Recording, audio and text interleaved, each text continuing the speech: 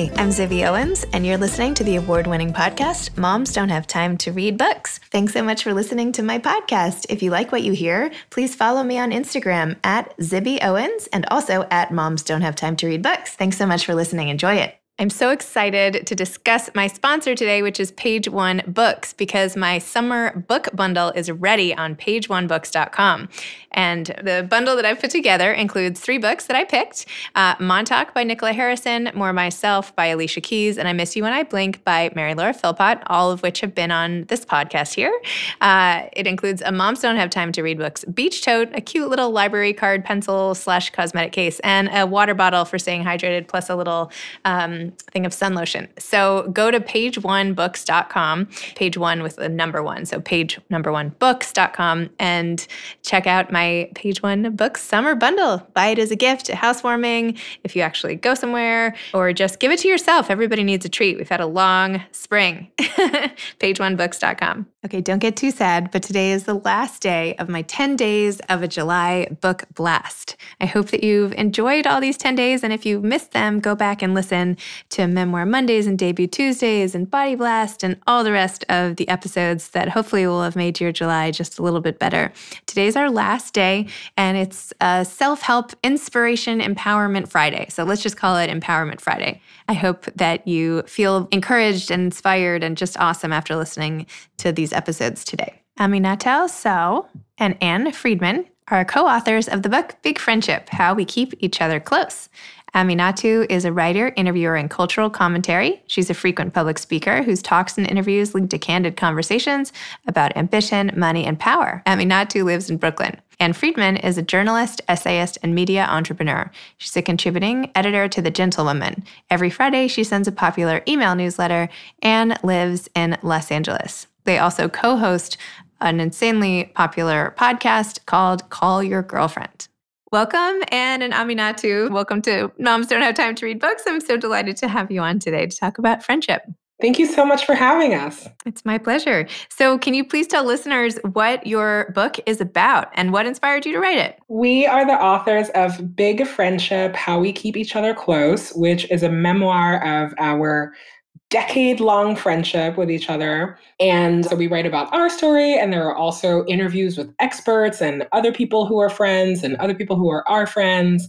And we really just wanted to take a look together at the relationship that we have with each other because we think that a lot of people have the kind of friendship that we have, which is someone who you know the, the best label to call it really is your best friend. But as we know that can mean so many many many many different things.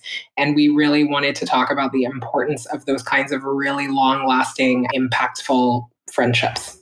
Yeah, and we also wanted to put some language to many of the experiences that we had within our friendship. You know, the fact that right this term best friend is one of the only words that we have for a, a, super intimate friendship where someone might be as much a part of your life or more important to you than blood relatives or have, has known you longer than a spouse. We really wanted to elevate this relationship to the place that it it belongs in the sense of you know not all friendships are the same but if you have one like this here's some language that might apply to the situations that arise within it. And so our book is really about what's great about that, you know, why it feels so incredible to be intimately known in this way by someone who is a friend, and also many of the difficulties that arise with that, you know, like any intimate relationship, why it can be hard to really stay close to each other for the long term through a lot of life changes.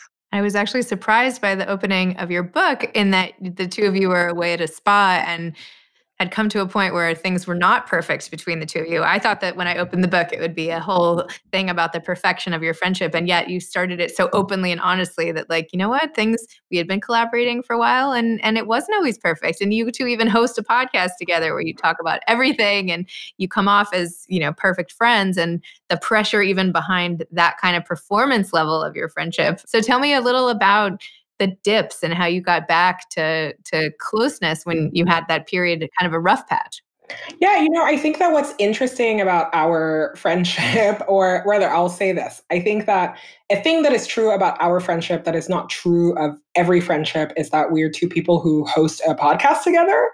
And so it just means that a lot more people that don't know us can make assumptions about what our friendship really is. Right. And so I think that that's just something to like get out of the gate. And it doesn't mean that the way that we do our show, I think that if you're actually listening really closely, you can tell is that we are just like two professionals who are good at editing each other. Like it's not a show about like, ugh, like I'm going to air all of my grievances or I'm mad about this thing that you did in private. So I'm going to talk about it on the show. That's just not how people who are professionals are. But I think that the idea that there is a kind of relationship that is perfect, whether it's a friendship or a marriage or a whatever, is, you know, that's just not true. Everyone knows that that is not true.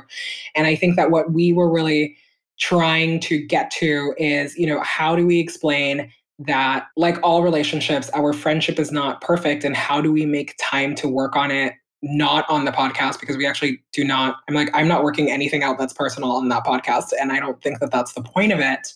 But you know i think that just like all relationships we've had our our highs and our lows and the thing that Ann said earlier about finding a vocabulary for it, again, is because in other kinds of relationship, there is really easy shorthand and really easy understanding of oh, like, you know, if you were married to someone or you're dating them and you say, oh, we're growing apart, everyone knows exactly what that means. But if you say that about your friend, what does that mean? You know, like, can you grow apart from your friend? Can you feel, you know, what are ways that you can try to save a relationship that you have with a friend? Is it okay to go to therapy? Or is that sound something like is completely extravagant? And so I think that we were just trying to have out loud a conversation that the both of us had been having in private for a really long time because by talking about kind of how our friendship works we are just trying to encourage other people to tell us how they're doing friendship right? And i think that in i think we, we say this very clearly in the book like we're not experts at all if we were ex like i don't think there's any such thing as a expert in friendships but we are two people who just really like each other and want to stay friends for a long time. And the only way to do that is to be really honest about the fact that it's hard sometimes.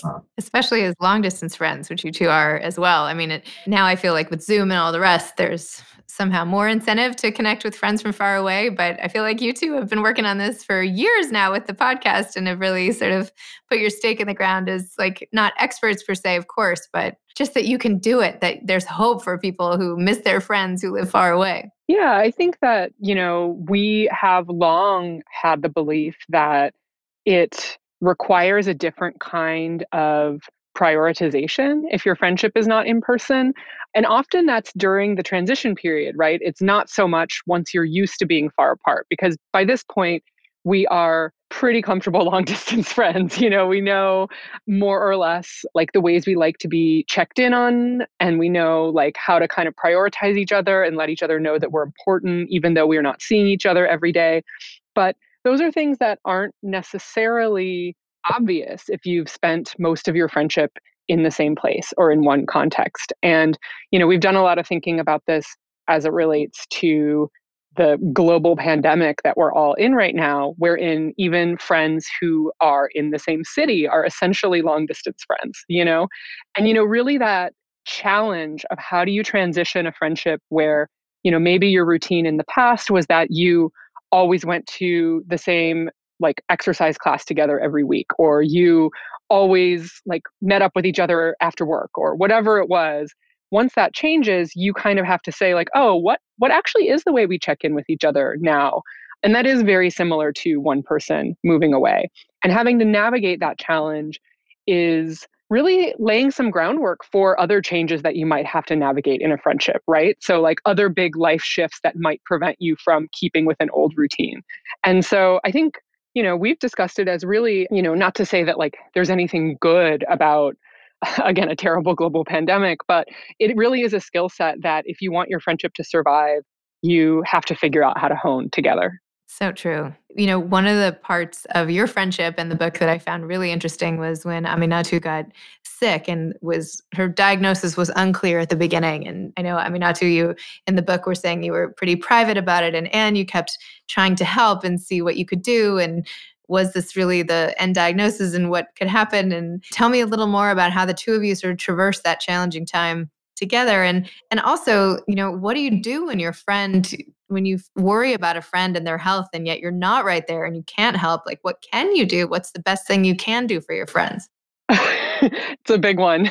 Sorry, I know. Sorry about that. Uh, okay, you can, you can take that one apart, but you know, one question at a time. Yeah, I guess I think, you know, you're talking about a part of the book where we talk about this concept called stretching that is really, you know, how do you how do you just like keep up emotionally, physically, whatever with people that are in your life when two of you are just very different, right? And sometimes you have to stretch for very tiny reasons. Like your friend likes a kind of music that you don't like, and it means that every time in the car they're going to play it, and you just have to learn how to live with it. And sometimes the stretch is something bigger, like your friend is, you know, they, they're moving across the country. How are you going to stretch to be there for them? And so, one of the examples of stretching that we have both had to do is that I experience chronic illness. And it means different things for the person who is sick than it does for the person who, you know, is the friend.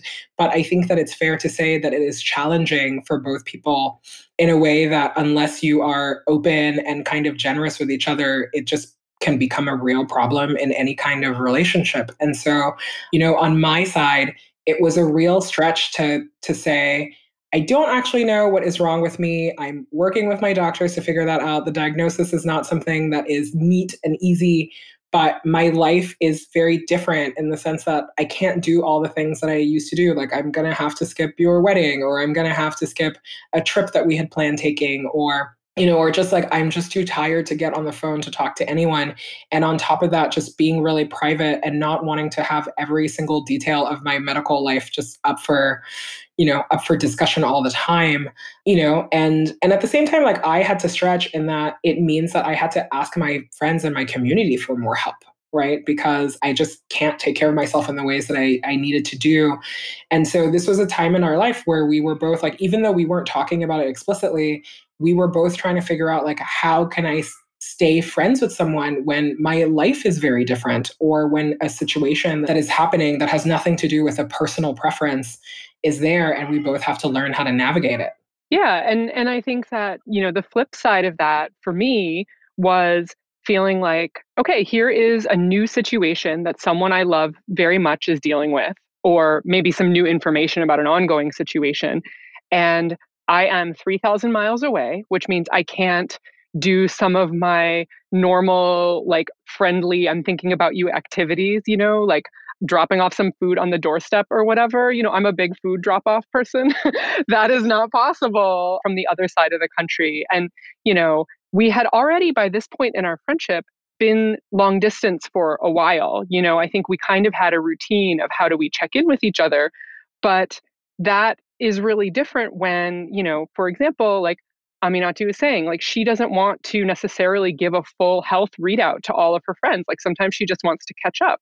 And I respected that always. But at the same time, I'm like, I'm far away and I want to know what's going on with you and I care about you. And trying to really pull apart what is supportive of her and what is just making me feel more secure in the friendship. What do I need in order to feel like I'm still in an intimate friendship with this person? What does she need?